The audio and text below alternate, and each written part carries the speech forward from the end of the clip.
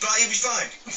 That was Spectrum and Florence the Machine and re-entry at number 35. Charlotte on Twitter says, Are you just doing last week's chart? I'm starting to suspect something.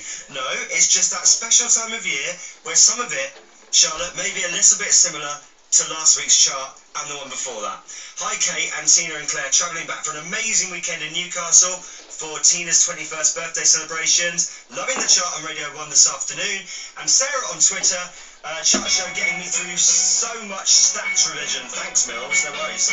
34. It's Wiley, and can you hear me? I was on the path to the limelight. Now I'm on the number one. It's a night flight. When they say I'm a star, I say thank you. It's all due to the scenes that I ran through, so I keep playing the black for all people. No one's in the back, they all equal.